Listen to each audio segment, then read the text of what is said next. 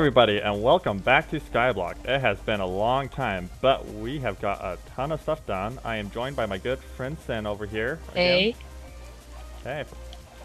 So let's go ahead and start this off by showing you this fancy chicken farm that we finally made that I said I was going to make in episode 1. Whoops. We made it out of a bunch of ugly leaves blocks that's hard to see through, but glass is expensive, so bear with me. Okay, so quick explanation. The chickens make their eggs, they come down this water, and it all gets sucked up by a hopper somewhere back here. Over here. Put into this dropper here. The eggs will then be fired up and hit into that wood block right there, which will make more chickens. Those come back into the killing chamber here, where when they grow up, they drown in the water and we get me food. We also have this awesome make more chickens mode. Okay, that retracted this piston where before the eggs hit that wood block, now they go all the way up there and they make more chickens up here. So basically, instead of using a bunch of dropper and redstone to move around the chickens, we're using water streams. And that's the gist of it. So this is something me and Sin designed together, and it's awesome. We get lots of yummy chicken somewhere. Okay, Yeah, that's not very much. I guess we've been Hey, eating look it. here, look here. Over here. Oh yeah, that's right. Yeah, tons of chicken and feathers and whatnot.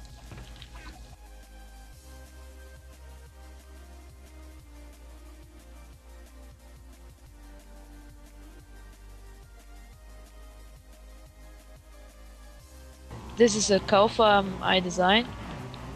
So if you press, uh, if you step on the pressure plate, the dispenser activates, which shoots out water to let the cows pump. So you can easily breed them. If we had wheat, Then we don't have wheat. yeah. The, then the water pushes them down here. So all the babies get pushed down, and if they grow, we can kill them. We can also crush them. And this just closes the gate back there. yeah, so you can make more breeders. Yeah. And then if we have splash potions around, we don't ed- right now, but you could use that with a looting sword we got from a zombie pigman to get extra meat. I think that's most everything that's around here. Let's go ahead and jump over here. Oh. Okay, so over here, this is where our witch drop stuff was. We've taken out the weird storage system we had here. Oh, it's still around. But anyways, now the witch drops get funneled into these chests, which then... Oh, we haven't hooked it up yet, but there'll be a dropper here. Yeah. Basically spits out all the items into this water stream. And let's go ahead and follow it. Ugh.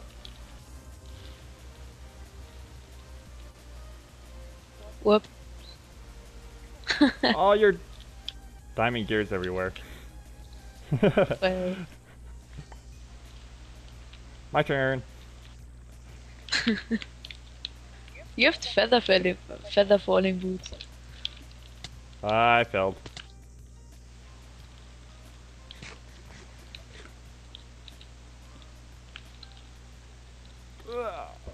I don't think I can ender pearl up there. Now I'm suffocating.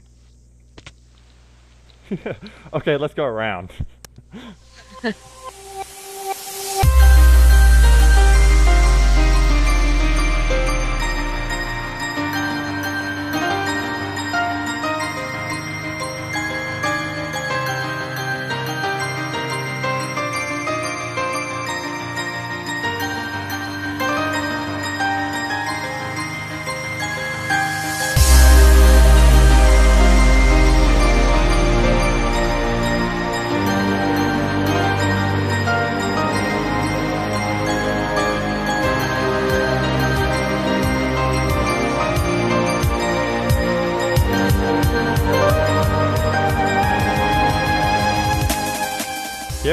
at a storage room that we have been working on for quite some time.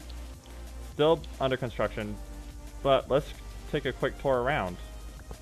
Alright, so this design, we're trying to use a design made by SethBling to get items automatically sorted into different chests. So here are a bunch of chests from the mob farm that will be sorted here. You put basically one item in every slot, and then the chest will just fill up with items from a hopper in the back. We only got one of these things set up. The ice path we were just following is almost connected to this thing, but it isn't yet. Over there at the mob farm, we have a dropper spitting stuff into this water stream, comes up, goes into these hoppers, gets sorted into these chests. we have a second floor here too. Basically just comes down into this overflow area. So here is our same line of chests from the mob farm that all came down here. But now it's being put into this dropper that's on a clock, constantly firing items over this direction to the item elevator and up there. Into this crazy redstone madness that really we're gonna have to build one of these for every single row of chests we do. On the edges, this is where we sort all the stuff from various farms around the place. And so over here is where we plan on doing witch drop stuff when we get to it. And then in the corners, this is manual sorting stuff where we just put whatever we want to.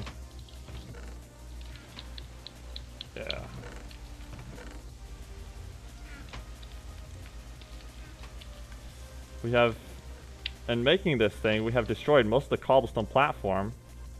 And right there, there's this single piece of bedrock that's left. Everything else is pretty much destroyed. There's a couple things on the outer rim that are still left behind, but most of it's gone. Here we are at the iron farm. This still, thing still breaks a ton, but there has been a modification that I've been trying to make over the past while, and that is to remove all of the pistons possible there's still a couple, but in the process of removing them, which means making a giant clock here, it still breaks every once in a while. And we got a new problem with the iron golems getting clogged up there without falling down. I don't know what causes that.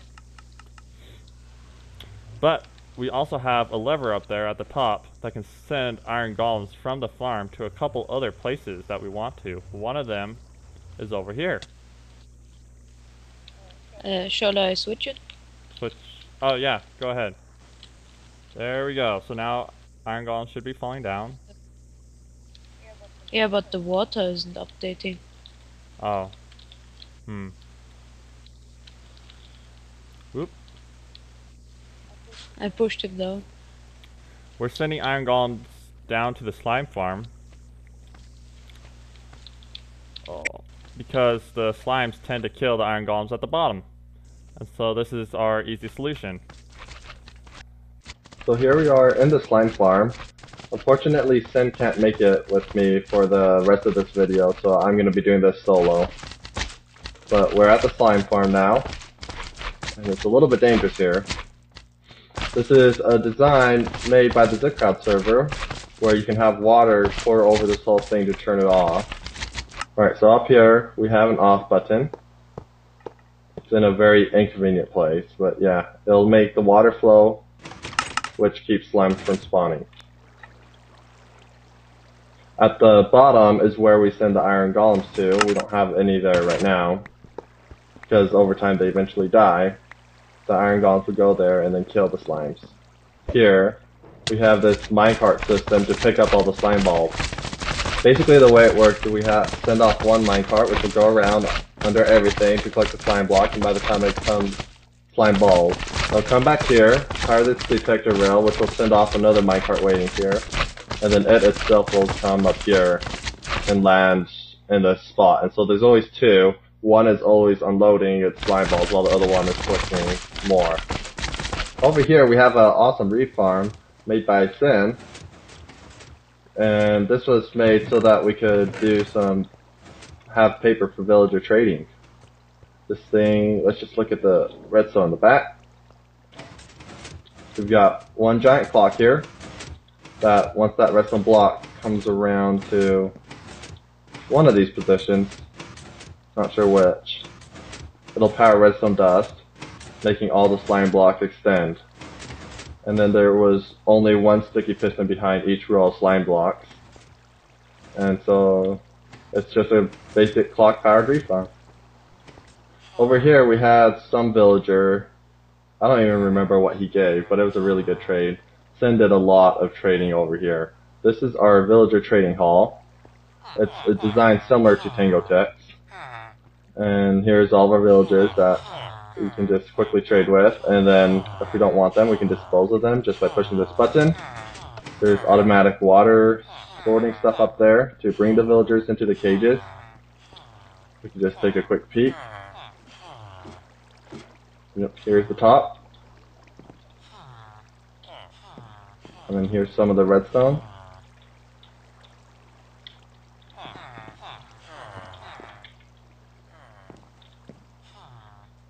Now down here we have a villager breeder that was designed for older than 1.8 so they could just automatically breed. But now they won't do that so what you have to do is throw in food and then they'll breed. And we didn't really plan on making anything more fancy than that. So it looks like for whatever reason a lot of them have died in here. Here we are at the Iron Foundry again. I'm just gonna go ahead and flick this lever. Oop. Which is gonna open up a secret little gateway for these golems to be able to push out. So if we can squeeze through here. Now they can come out and through this portal. And so kind of like the slime farm, there's another thing we have that needs more golems. And so we created uh, this passageway to let the golems through. And I'll just quickly go through and show what that is. This is it. This is our golem pusher. You'll see that it pushes iron golems to, looks like nearly the end, right into here. So they come out of that portal over there, and we needed the golems to be somewhere else, so we had to make it so that they can land on this pressure plate which then triggers all these pistons that just go and push the golems quickly across and into this awesome little sill right here. So this is just a place for these pigmen to spawn and then we just fill this place full of iron golems and this will allow us to go and first of all you can walk through here and get tons of experience but also it just gives us tons and tons of gold. So this is the system we've been using.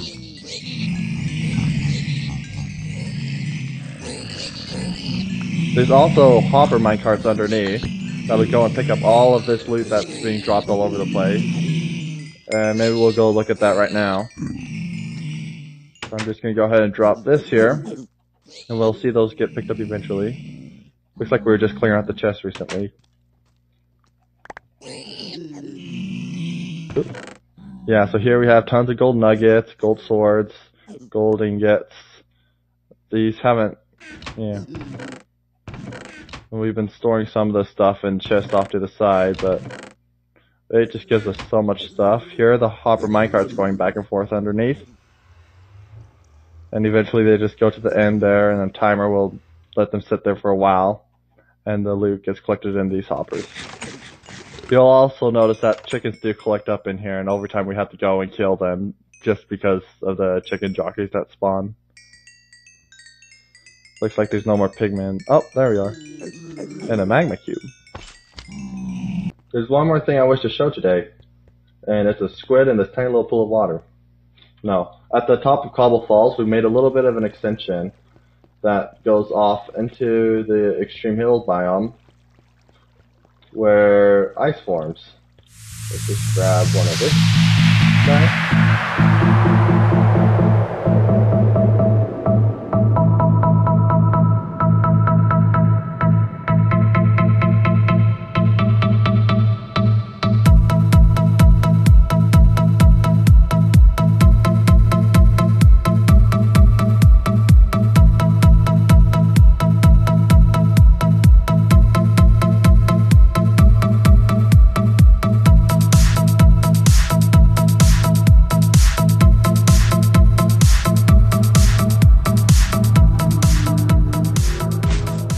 this this is an ice farm I designed so that when it's done filling it up, you get one giant pretty cube. But it is not by far the most efficient design. And the reason being is just the amount of redstone it takes to make a single slice. You'd be better off just making a giant ice tray going far out with very cheap redstone clocks and whatnot than doing something like this. And you mostly because after AFKing a while, you've got tons more ice now, even if it is a little more inefficient. The redstone here is really big. It costs a lot of redstone to make a single slice. Let's look into it a bit. Yeah, so we got a bit of piston tower here and some redstone here.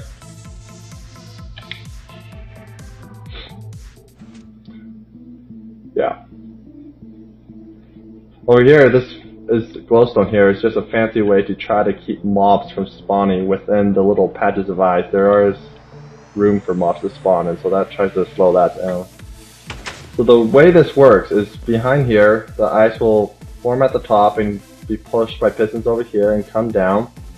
And you'll see these giant pillars of ice coming down. Once they push far enough, eventually they'll push one of these redstone blocks down. And then that's where all the awesome stuff happens, where the redstone block will be pushed back up, all the ice in this single column will be pushed across. That's why we get this design like this, is because one column is being pushed at a time. Oh, and it just happened right there. Let's just take a quick look at the top. This is where the actual ice gets formed. The pistons on top are necessary for once the ice tray is full and the pistons can't push out the ice. We don't want the ice pushing upwards, so the pistons up here stop that. And yeah, eventually this whole thing becomes full and then we have to harvest it all. And it's a big job. And and these tiny little columns are where mobs can spawn, and so that's why I'm sneaking glowstone down underneath right here is to try to prevent that. And you've got to be really careful because this is ice we're dealing with. You can't just put lights all over the place because it'll melt the ice, and so that's why the ground is slabbed. Alright, well thank you all so much for watching this episode of Skyblock. It has been lots of fun. There will be a world download in the description. It's a little bit older than this version, but it has everything that we've built in it. And you can go and fly around and see everything for yourself. Over there, that's a chunk uh, glitch. And so I, we do really have a ton of dirt in this world, but we haven't traveled over there. And what we really need to do is go into MCEdit and delete that. And so in the world download, you'll probably see that too. It's just a chunk glitch. So thank you for thank you all for watching, and see you later.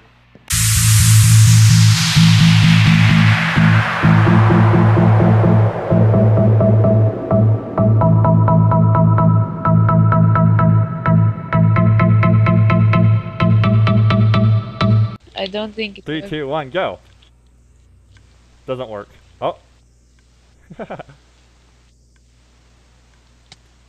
Well, that was unexpected.